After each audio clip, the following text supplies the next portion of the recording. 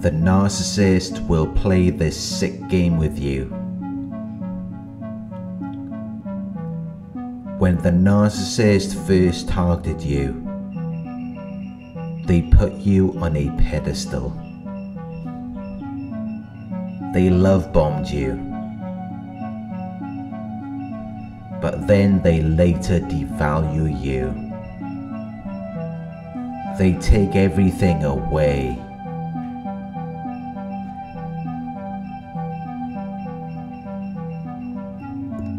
They no longer seem to love you. They no longer seem to care about you. They're no longer affectionate. And they know exactly what they're doing. It's a sick game that they are playing with you. To make you doubt yourself, to tear down your self esteem to make you believe you're unworthy of anyone or anything.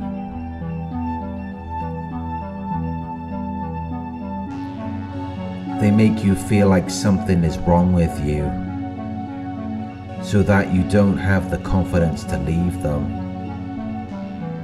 Because you think that they're right.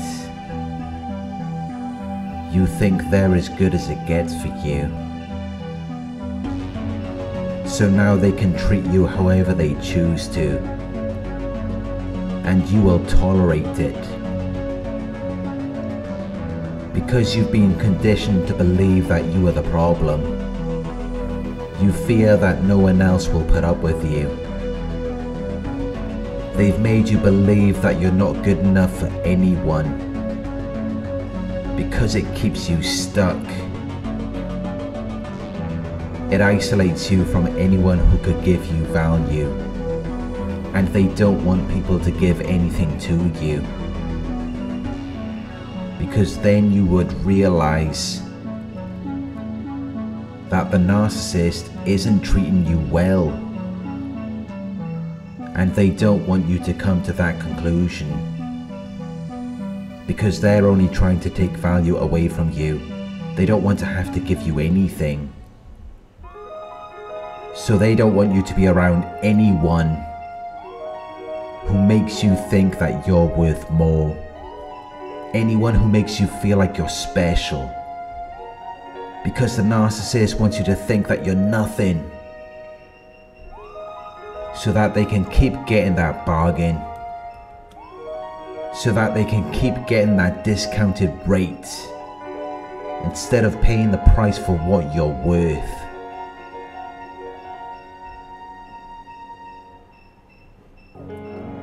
Which is how the only way that you can leave the narcissist is by realizing your worth, by giving yourself the value that they never gave to you. Because they're never going to give you that value. And they're going to try to isolate you from anyone who could bring value to your life.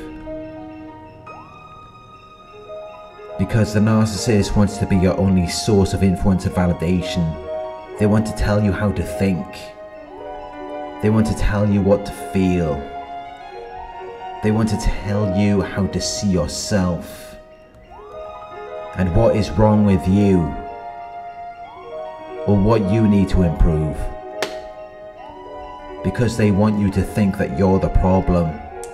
They want you to think there's something wrong with you that you need to fix and they will use it as justification for what they do to you. They will do horrible things to you and then blame you for it. And if you try to leave, they will try to make you feel fear, guilt, or shame. They will try to make you feel like you're doing something wrong. They will get you to focus on your decision of leaving them rather than what caused you to make that decision. They will deny any wrongdoing. They will gaslight you. They will shift the blame onto you to make you think that you have no right to leave. They will always leave you feeling like you're the problem. And the more time you spend around them, the more you will begin to believe it. They brainwash their victims. They pressurize them into adopting radically different beliefs by using systematic and forcible means. They indoctrinate you with a false narrative, which is why you have to stop listening to them. You have to stop letting them do all of the talking. Because it's having an effect on you. It's changing the way you think. It's changing the way you see yourself. And it's changing the way other people see you.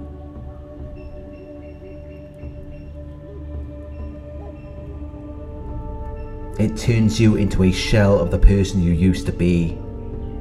Because you begin to believe in everything they're telling you. You start to agree with it. Because repetition fuels our belief. And the narcissist is very repetitive. They say the same thing several times. So if they keep telling you you're not good enough or something is wrong with you, if they keep pointing out your faults and mistakes, your flaws and imperfections. Eventually, it's going to tear down your self esteem, and you're going to start to believe them. You're going to accept their distorted ideas and perceptions of you. You may not believe it in the beginning, but if it's done repeatedly, eventually it's going to have an effect on you.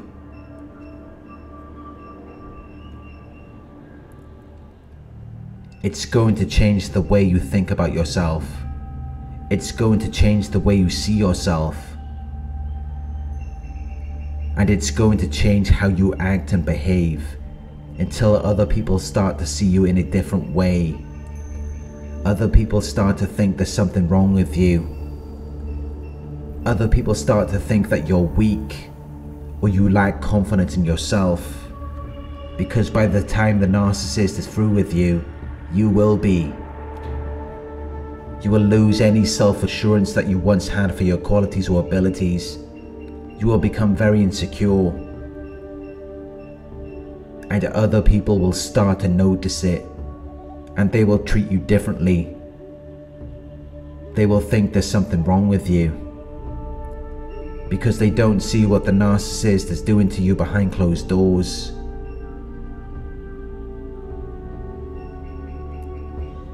And this is just another part of this sick game. Because the last thing the narcissist wants to see is you having confidence in yourself, believing in yourself, loving yourself. They do everything they can to strip all of that away from you, to make you hate yourself, to make you feel small. Because that's how they really want you to be. They want you to feel like you're nothing. They want to feel like they're better than you.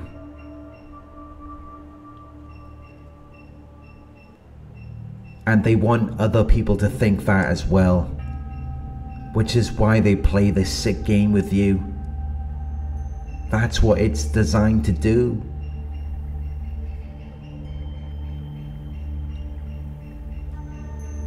It's designed to tear down your self worth and self esteem so that you appear broken and vulnerable to other people, so that people no longer admire or respect you.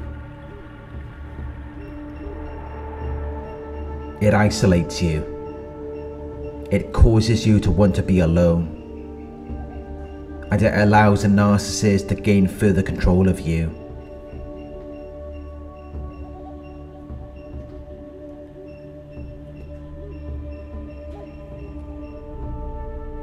Thank you for watching. I hope this video resonated with you. Please like, comment, share and subscribe. If you would like to donate, my PayPal link is in the video description. Coaching inquiries, you can email me at coaching at narcsurvivor.co.uk. Thank you for watching, and I'll talk to you soon.